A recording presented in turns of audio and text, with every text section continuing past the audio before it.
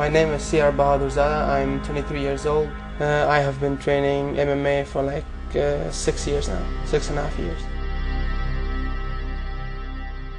Uh, originally, I'm from Afghanistan, but I have been raised uh, in Holland, so I'm actually Dutch Afghan. Well, uh, living in Afghanistan was was actually surviving, and through the uh, war and everything around it, it's really it's not it's tough, you know. It's really tough to live in such situation. I think the person that I am now, my character, basically built in Afghanistan and now I'm just following the character that has been built in those 15 years that I lived there. My discipline, my mentality, and my willpower uh, is, I think, the motivation which which drives me uh, which drives me to to achieve everything I want. Because in Afghanistan I didn't have any chances. Now that I have chances, I don't want to let any chance go. And chances you don't get chances like that. You have to create chances and if you try your best and create a chance you better take that chance because you will never have the chance to get back that opportunity that you are creating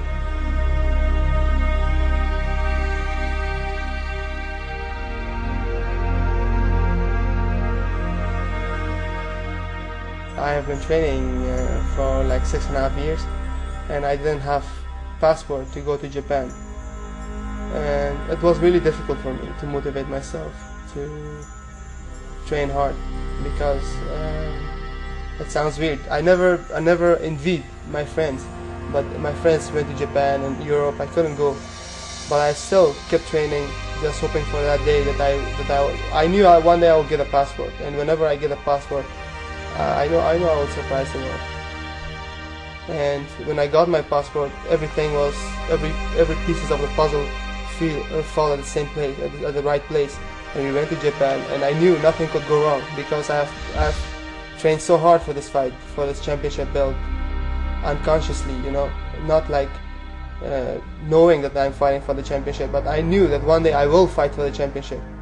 So since um, since the start, I trained for this for this fight for this championship belt, and whenever the day was, whenever the time came, I just stood in the ring and uh, I knew I would win, and I knew I would hurt the guy.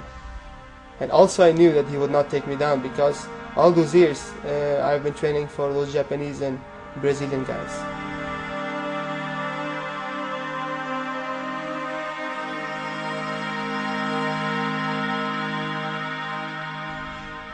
In the trainings, I really, uh, I believe in the training. I, I really go through hell.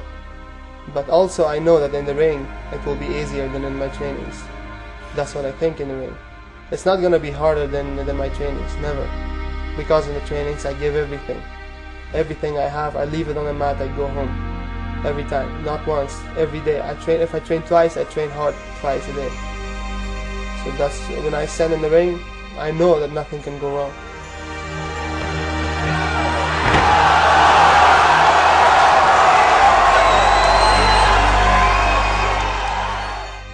man MMA is everything it's not like from 9 to 5 and then go home or whatever.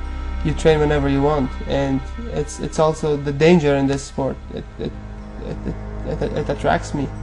You know, I I, I love. Uh, I have I have been raised in, in danger, and I cannot live without danger. I I have to have it in my life, otherwise, I don't have the feeling that I live.